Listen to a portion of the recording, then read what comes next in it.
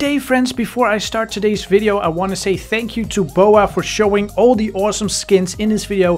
He has a YouTube channel and he also has a Discord so if you want to talk about this game make sure to join the Discord, the link will be in the description. I also want to say thank you to Mo Cruz for showing the golden Spinosaurus, Ender for letting us use his private server, everyone who was in the server that helped us and of course thank you to Frillion for making this awesome game and fixing all the glitches. I hope you enjoy.